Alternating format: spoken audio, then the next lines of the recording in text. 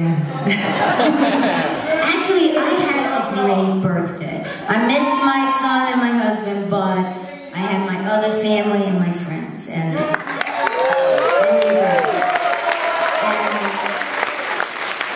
Great Britain is a great place to spend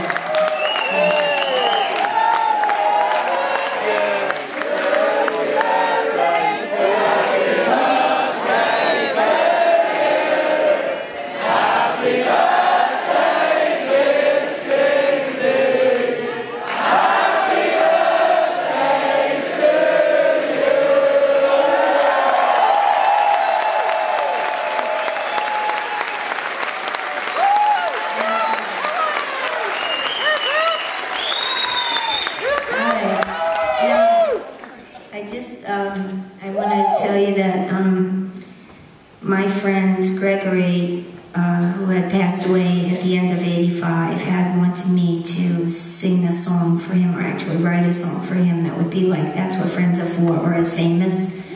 And yeah, that's what I said. but he was one of my closest friends, and um, at that time, and. Um, when he did pass, I, I wrote Boy Blue for him, of course, which was not a song for repetitive play. Apparently, uh, I poured out my heart a little too much, and my liver, and that's not good. So, but in the meantime, this song came to me, and um, in 1994, when I was at the pier, and, and you all know there's been many versions of the rainbow flag.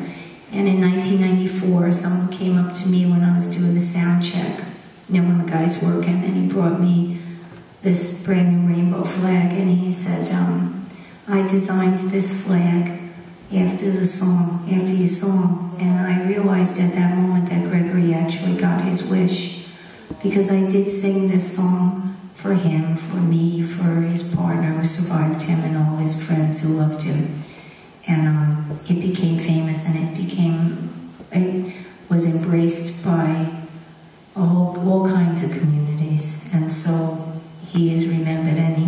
wish and his name is on the cornerstone of the True Colors residence. If you go see it it's in Harlem it's uptown in Manhattan anyway so this was his song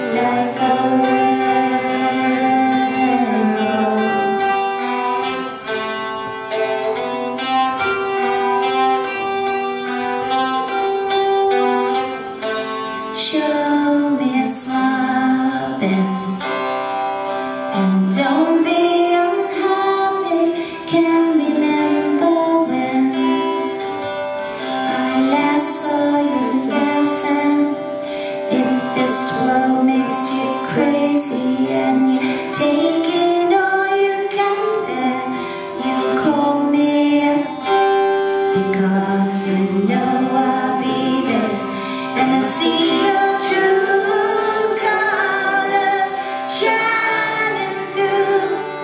See your true colors, and that's why I love you. So don't be afraid to let them show your true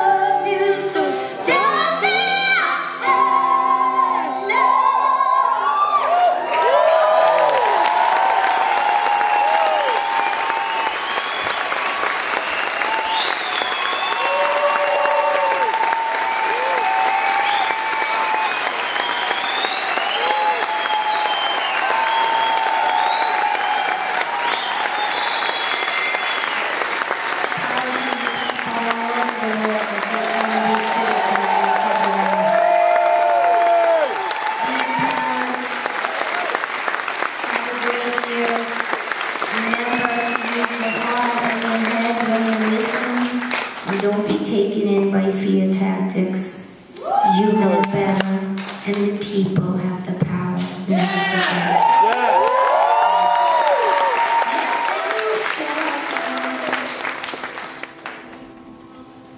And if you want to be have an inclusive society, don't forget to include yourself and participate. Otherwise, right?